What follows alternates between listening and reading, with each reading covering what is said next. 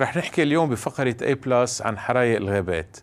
بيشهد لبنان موسم حرايق كتير كثيف كل صيف بالسنين الماضية والحالية. السبب بيعود لسوء استعمال الغابات وسوء إدارة الغابات.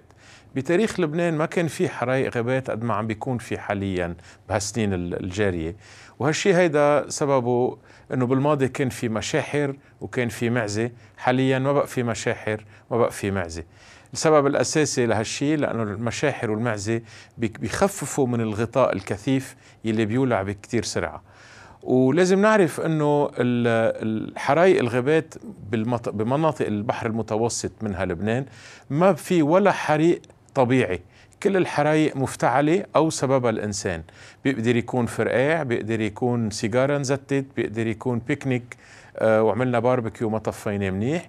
بس ال ال الهدف الأساسي من موضوعنا اليوم إنه لازم ننتبه على كيف نكون بالغابات شو نستعمل بالغابات وشو وكيف نتفادى الحرايق بتشحيل الغابات وتنظيفها وعدم رمي النفايات بصورة عشوائية.